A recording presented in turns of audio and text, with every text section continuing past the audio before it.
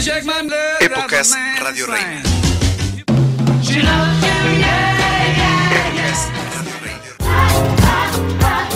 Radio Reina. Épocas Radio Reina. Radio Reina. Épocas Radio Reina. Épocas Radio Reina. 25 años uniendo generaciones. Muy buenos días, damas y caballeros, muy buenos días, bienvenidos a esto que es Época Radio Reina, Época 370, un viaje hasta tu época, 25 años al aire, gracias a ti. Ayer se cumplieron 51 años de la portada de este álbum del Road de los Beatles. Yo soy Alejandro Corpus, de aquí hasta las 2 de la tarde. Amigos, quizás algunos de ustedes lo sabían y probablemente muchos otros no, pero el señor que viene aquí al volante con ese estilo, con ese porte, con esa elegancia, primero que nada es mi papá, es el chief. Eh, pero a lo que quiero llegar es que es locutor, tiene una voz off muy padre y la razón por la que vamos en este carro es porque nos dirigimos hacia su programa que lo pueden sintonizar todos los domingos en punto de las 11 de la mañana hasta las 2 de la tarde. Se van a encontrar un viaje a través de diferentes épocas, desde los 60, 70 hasta los 90, 2000, haciendo alguna muy buena música, rock en tu idioma, indie. ¿Qué otra cosa podemos escuchar en tu programa?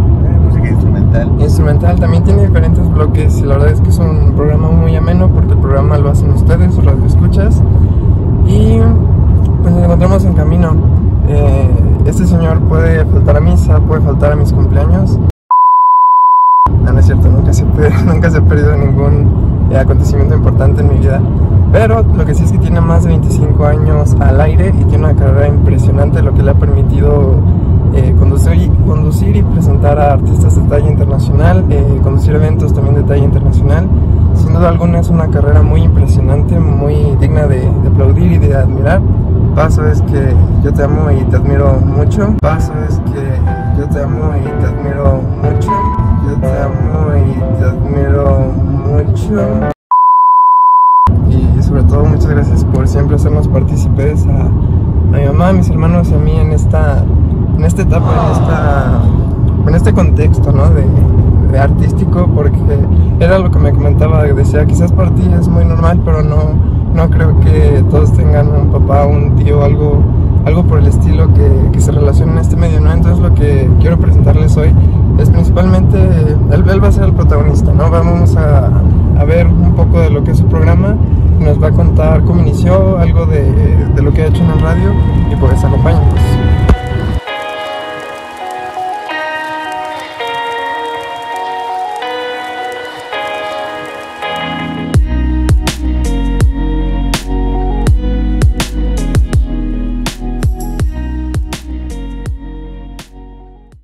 Ahora sí, cuéntanos un poco de cómo fue tu inicio en este, en este mundo de la radiodifusión. Bueno, a mí el radio me gusta porque mi papá, que en paz descanse, este, siempre tenía estaciones de otros lados. Crecí con la música, siempre escuchaba música instrumental, música en inglés, este, mi mamá escuchaba música. Y cuando yo era niño, eh, había una serie en la televisión en Canal 5. Ahorita no recuerdo la serie, pero era un locutor nocturno que salía todas las noches y tocaba el violín. Yo decía, ay, un día quiero estar en una estación de radio porque imaginaba así como algo muy mágico, como en realidad es. Este, y le dije a mi papá que un día quería estar en la radio. Y en lugar de reírse me dijo que sí. Este, pasaron muchos años y yo creo que pensó que así como que no, no, era... No, porque yo era, una, yo era una persona muy introvertida. Bueno, sigue siendo una persona muy introvertida. Este, y pasaron el tiempo y cuando iba a estudiar una carrera universitaria yo creía que solamente estudiando ciencias de la comunicación. Se podía acceder a los medios de comunicación y, estudié la carrera pensando en ello, pero eh, mi papá, que paz descanse, conocía a Pascual Centeno, eh, un abrazo hasta el cielo, eh, que realmente él fue, gracias a él es que llegué aquí, papá habló con él y, y Pascual Centeno, sin conocerme, siempre estaré agradecido inmensamente, este, me trajo a la estación hace ya 27 años eh, y me presentó con el señor Reina, eh, con Chole también, que, que, ya no está en la estación, este, el año pasado dejó de, de, trabajar aquí, pero una persona muy importante también en aquí en mi formación. Y el señor Reina me dijo que, que me da la oportunidad, pero pues que tenía que ver, pero yo no sabía nada, y hasta me equivoco, hace 27 años. Y duró un año, literalmente, más de un año viniendo cada ocho días, cada ocho días, cada ocho días, cada ocho días, este, buscando la oportunidad. Conocí mucha gente muy famosa en ese, en ese entonces. En ese entonces fue el boom de los discos de los DJs. Y estaba otro locutor, Juan José Sánchez Beltrán, que ahorita es todo un ícono de la, de a nivel nacional de cadenas.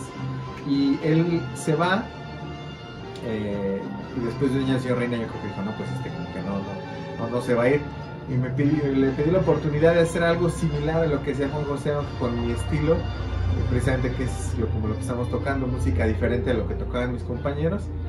Y así empezó la aventura, los primeros programas este, de cada burrada que eran grabados, duró un año más o menos, eh, perdón, un mes, un mes grabando los programas en cassette, que ustedes no saben que es un cassette, pero los grabamos en cassette.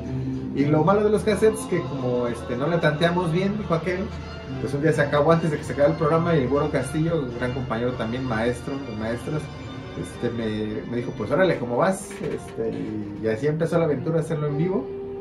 Hasta la fecha el programa ha pasado por varias etapas, duramos muchos años en sábado, que fue como inició, un breve lapso como de dos años, año y medio en domingo, y después me fui a las noches pensando que esto a lo mejor ya no iba a funcionar, Eh, pensaba que en la noche nadie escuchaba el radio, pero sin querer se cumplió el sueño de que, de niño quería, que era precisamente estar de noche, y se logró, y es donde se da esta aventura que les decía de, de mucha gente conoció otros países, y por cuestiones personales regresamos al domingo, pensando que era otro público, pero toda la gente que nos escuchaba de noche, pues ahora nos escucha de día y ha sido increíble que tengo radioescuchas desde 3 años hasta gente de, no sé, 60, 70 años, 80 años. Y es lo bonito, no tiene precio y más, eh, yo lo hago porque me gusta, no espero nada a cambio, pero cuando habla la gente como ha estado llamando el día de hoy, cada semana y me platican sus experiencias, problemas o que están esperando el programa cada ocho días, pues algo que no tiene precio. Entonces, sin querer, eh, soy parte o he sido parte de- de la vida de muchas personas. Tengo fans que, que me escuchaban ellos, se casaron, me escucharon sus hijos y ahora a veces sus hijos me escuchan ya con 17, 18 años. Ya me siento como Chabelo. Este, entonces, pues es algo que no tiene precio. Y sin duda no, no lo voy a poder lograr sin el apoyo pues, de, de Aleli eh, y de ustedes. Este, que mucho para poder estar aquí, cumplir mi sueño y sobre todo pues para tratar de, de- de cumplir el sueño de muchas personas. Este, cuando hablan y me dicen lo que pasan, que lo que significa que pongamos una canción o algo, este, pues la verdad una vez no sabe qué tanta trascendencia pueda tener.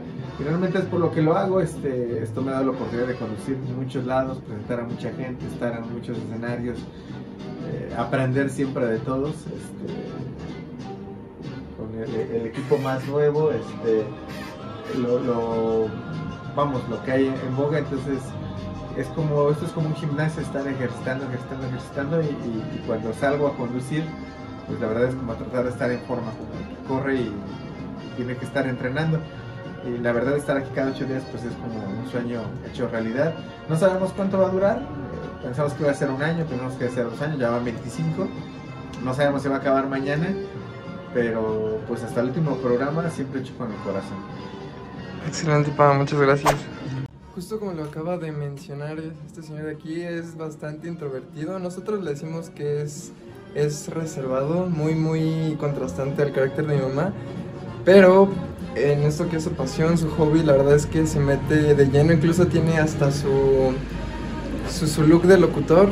Hoy viene un poco más formal, más a como nosotros lo acostumbramos a ver, porque es un señor muy, muy elegante, muy de mucho porte, pero cuando viene aquí a la radio se, se mete en su papel, se usa playeras de superhéroes, usa eh, chaquetas universitarias, chaquetas de mezclilla, y la verdad es que es todo, todo un personaje. Para los que no lo conocen, en general, como les mencioné, es bastante, como le dice, introvertido.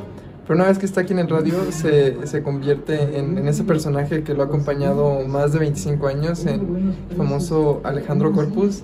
Y, y pues nada, esto es un poco de, de lo que es su vida aquí en, en el radio, que, es esto que le gusta. Y ha- hace rato hacíamos una comparativa que más o menos inició a la edad que yo tengo.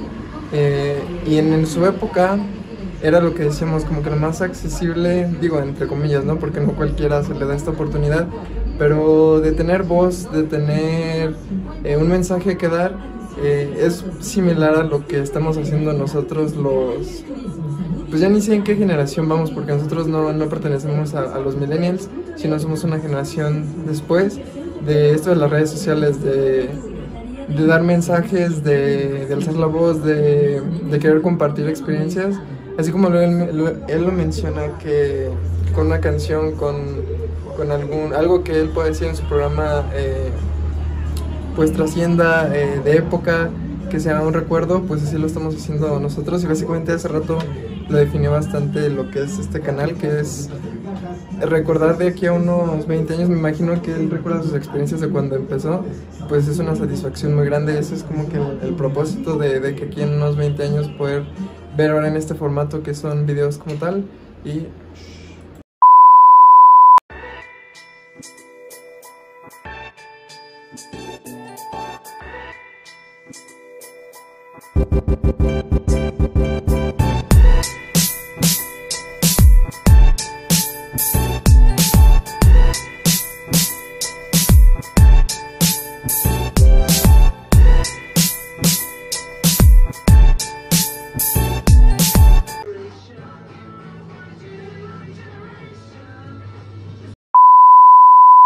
Te noto algo consternado. Eh, quiero suponer que algún radio escucha te, te, acaba de marcar y cuéntanos un poco de esta experiencia. ¿Qué, qué te cuentan? ¿Cosas Pues, personales? Eh, sí, felicitaciones? Pues es curioso porque de hecho, como pueden ver, tenemos muchos medios. Tengo tres medios de comunicación mismo tiempo, más la computadora, más el mensajero, más el teléfono. Pero sin duda escuchar a la gente es el mejor regalo. Sus cosas personales, sus experiencias, sus logros. Ahorita me acaba de hablar una radio escucha que tengo muchos años sintonizando, que desafortunadamente perdió dos familiares en estos días. Y pues está contándome ahí su, sentir.